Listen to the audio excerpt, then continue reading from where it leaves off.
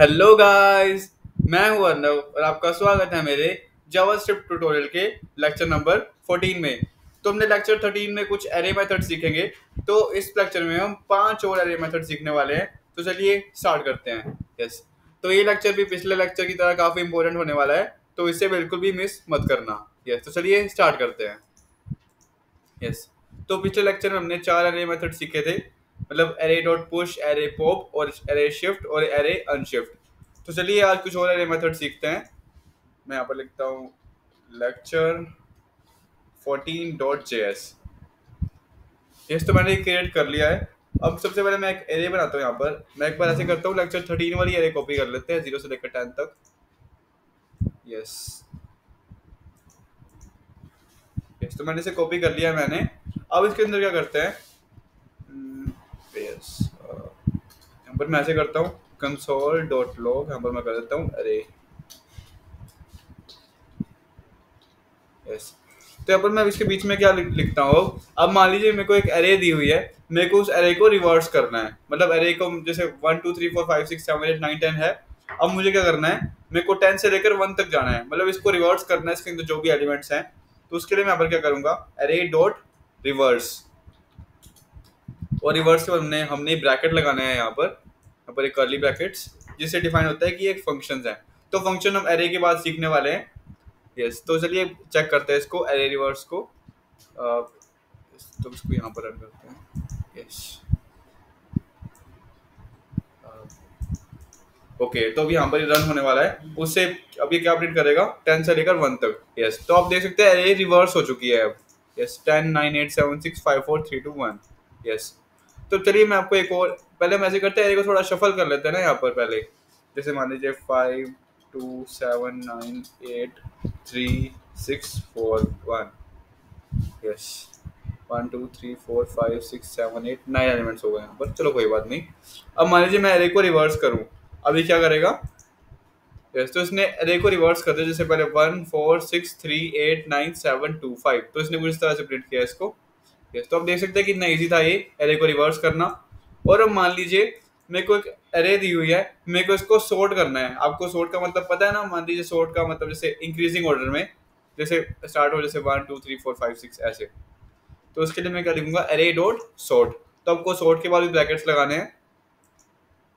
Yes तो अब आप देख सकते हैं इसने array one two three four five six seven eight nine इसने प्रिंट कर दिया है। यस तो आप देख सकते हैं कितना ज़्यादा ईजी है। इसने एरे को सोर्ट कर दिया। यस तो चलिए अब मैं आपसे एक क्वेश्चन पूछता हूँ। हम एरे को डिसेंडिंग ऑर्डर में कैसे सॉर्ट कर सकते हैं? Yes yes. तो ये काफ़ी ज़्यादा इजी काम है। हम क्या करेंगे? पहले हम एरे को सॉर्ट करेंगे उसके बाद क्या करेंगे? एरे डॉट रिवर्स यस तो उससे क्या होगा? पहले एरे सॉर्ट हो जाएगी उसके बाद एरे को रिवर्स भी कर देगा यस तो ये देख देख सकते हैं इसके अंदर नंबर्स कितने स्कैटर्ड मतलब आ, कितने शफर्ड है यहाँ पर। तो उसको क्या क्या करेगा ये? आ, इसने डिसेंडिंग ऑर्डर में सॉर्ट कर दिया है यस पहले इंक्रीजिंग ऑर्डर में सॉर्ट करेगा और उसके बाद इसको रिवर्स कर देगा, जिससे डिसेंडिंग ऑर्डर में क्रिएट हो कन्वर्ट हो जाएगा। यस तो आप देख सकते हैं कितना ज़्यादा इजी था ये। यस तो अब एक और मेथड सीखते हैं। अब ऐसे करते हैं, मैं यहाँ पर नंबर्स को मैं चेंज कर लेता हूँ यहाँ पर पहले। मैं यहाँ पर करता हूँ लेट फ्रूट्स कर लेते हैं। यस तो फ्रूट्स के अंदर मैं ऐसे करता हूँ, पहले मैं रे सॉर्ट और रे रिवर्स को हटाता हूँ पहले तो। यस तो फ्रूट्स के अंदर हम क्या लिख सकते हैं? एप्पल मैंगो, बनाना और गुआवा यस तो उसके अंदर मान लीजिए मुझे क्या करना है? मेरे को यहाँ पर मेरे को चेक करना है इस एरे के अंदर, इसके अंदर मैंगो है इसके अंदर तो उसके लिए मैं यहाँ पर क्या करूँगा? लेट मैं यहाँ पर क्या करता हूँ? Let includes mango is equal to मैं यहाँ पर कुछ, मैंने वेरिएबल का नाम कुछ इस तरह लिखा है। मैं यहाँ पर सिर्फ़ इंक्लूड लिख देता हूँ यहाँ पर। Let includes is equal to fruits dot includes यहाँ पर क्या आएगा? फ्रूट्स डॉट इंक्लूड्स मैं यहाँ पर करने वाला हूँ। इसके अंदर मैं लिख सकता हूँ, जैसे मान लीजिए मैंगो ये केस सेंसिटिव लैंग्वेज है, इसलिए आपको भी मतलब अपर केस में लिखना पड़ेगा। हमको चेक करना है इसको ये मैंगो को इंक्लूड करता है या नहीं। तो चलिए हम एक बार इंक्लूड्स को यहाँ पर देखते हैं। कंसोल लॉक कर कर।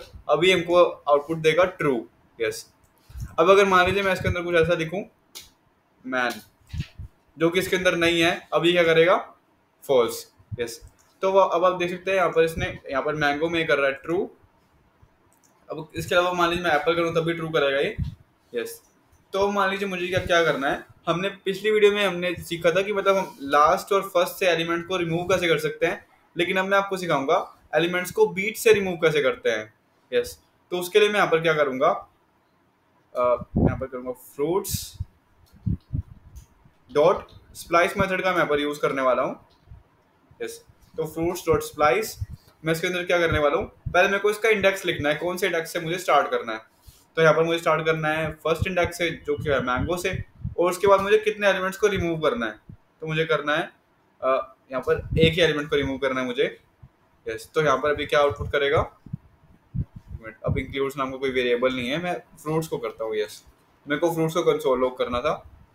मैं एक बार टर्मिनल को रीओपन करता हूँ, क्योंकि इसके अंदर मतलब एरर से भर गया था ना टर्मिनल यस यस तो जब मैंने इसको कंसोल लॉक किया, तब इसने प्रिंट किया एप्पल बनाना और गावा। यस तो अब देख देख सकते हैं इसने मैंगो को रिमूव कर दिया है। यस तो मान लीजिए मेरे को इसका फ़र्स्ट एलिमेंट रिमूव करना है तो उसके लिए मैं अरे डॉट शिफ्ट का यूज़ कर सकता हूँ। लेकिन मान लीजिए मुझे इसका थर्ड एलिमेंट रिमूव करना है तो मैं यहाँ करूँगा fruits dot splice two comma one अब इससे क्या करेगा?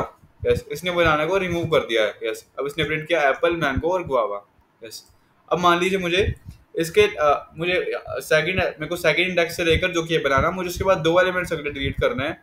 तो मैं लिखूँगा टू कोमा टू अभी यहाँ पर क्या करेगा? इसने बस स्टार्टिंग के दो एलिमेंट्स दिखाए, उसके बाद इसने थर्ड और फोर्थ एलिमेंट को रिमूव कर दिया। यस तो मेरे को लगता है आपको समझ आ गया होगा।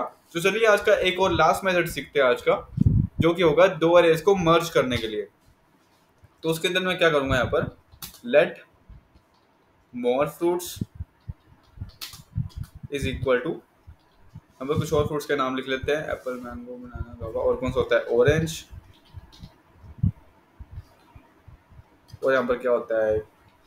कीवी। और क्या होता है यहाँ पर चलो एक बार इसको छोड़ते हैं। मैं यहाँ पर पियर लिख देता हूँ एक बार। यस अभी अभी के लिए मुझे इतने फ्रूट्स का नाम याद है। यस तो अब क्या करते हैं? मेरे को इन दोनों को मर्ज करना है। तो मैं यहाँ पर क्या करूँगा? लेट टोटल एक मिनट एक minute total